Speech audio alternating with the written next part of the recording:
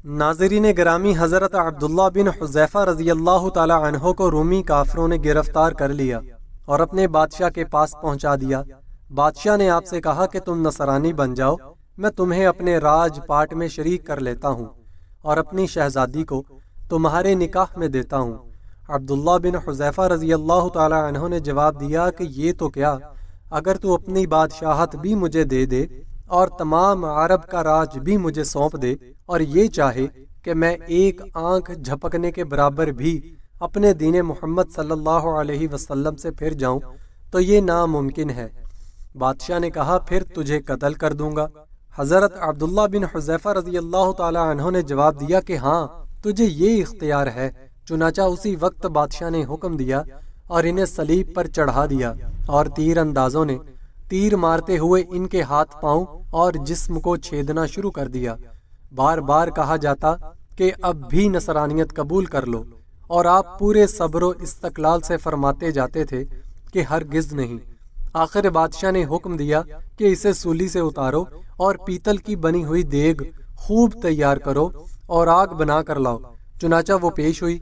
बादशाह ने एक और मुसलमान कैदी के कत्ल का हुक्म दिया कि इसे इसमें डाल दो उस वक्त हज़रत अब्दुल्ला बिन हुजैफा रज़ी अल्लाह तहों की मौजूदगी में आपके देखते हुए इस मुसलमान कैदी को इसमें डाल दिया गया।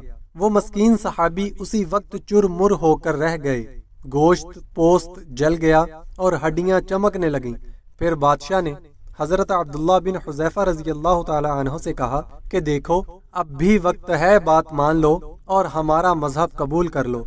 वरना इसी आग की देग में इसी तरह तुम्हें भी डालकर जला दिया जाएगा। आपने फिर भी अपने ईमान जोश से काम लेकर फरमाया कि नामुमकिन है कि मैं अल्लाह के दीन को छोड़ दूँ।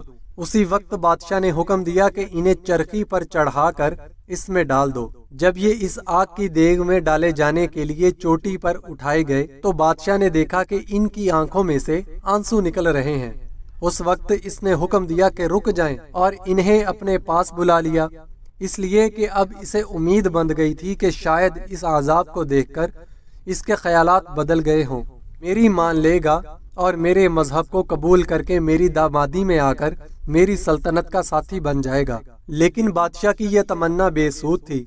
हज़रत अब्दुल्ला रज़ी अल्लाह तहों ने फरमाया कि मैं सिर्फ़ इस वजह से रोया था, आओ आज एक ही जान है जिसे अल्लाह की राह में इस आज़ाद के साथ कुर्बान कर रहा हूँ। काश मेरे रुए रुए में एक एक जान होती तो आज मैं सब जाने, अल्लाह की राह में एक एक करके फिदा कर देता। बाद रिवायात में है कि आपको कैद खाना में रखा और खाना पीना बंद कर दिया। कई दिन के बाद शराब और खंजीर का गोश्त भेजा, लेकिन आपने इस भूख पर भी इसकी तरफ़ तवज्जा न फरमाई। बादशाह ने आपको बुलावा भेजा और इसने खाने का सबब दरियाफ्त किया तो आपने जवाब दिया कि इस हालत में मेरे लिए जायज़ तो हो गया है, लेकिन मैं तुझ जैसे दुश्मन को अपने बारे में खुश होने का मौका भी नहीं देना चाहता। अब बादशाह ने कहा अच्छा तुम मेरे सर का बोसा ले लो, मैं तुम्हें और तुम्हारे साथ तमाम कैदियों को रिहा कर देता हूँ। आपने इसे कबूल फरमा लिया और इसके सर का बोसा ले लिया और बादशाह ने भी अपना वादा पूरा किया। आपको और आपके साथियों को छोड़ दिया।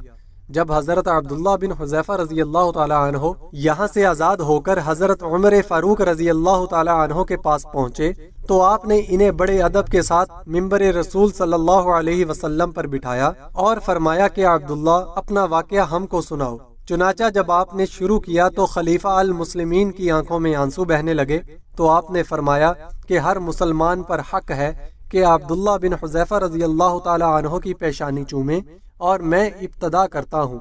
ये फरमाकर, पहले आपने इनके सर का बोसा लिया और फिर तजमी मुसलमानों ने।